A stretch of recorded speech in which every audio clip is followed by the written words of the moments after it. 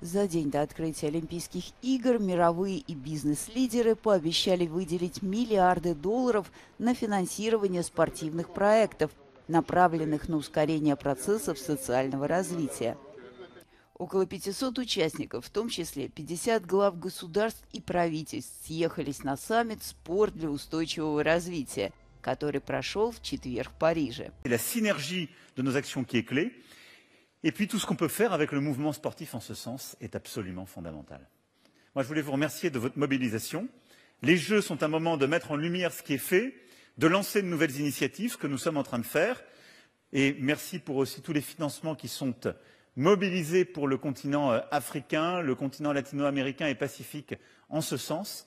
Et je vous remercie pour l'engagement de chaque jour dans cette direction.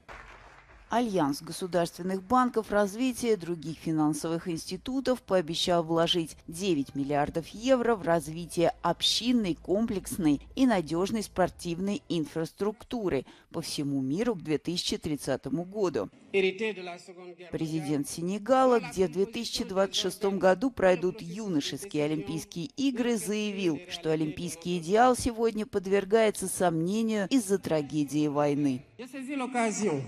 pour attirer l'attention du sommet sur le fléau insupportable du racisme et de la discrimination raciale qui continue de gangréner le sport dans un contexte de banalisation des discours haineux et xénophobes.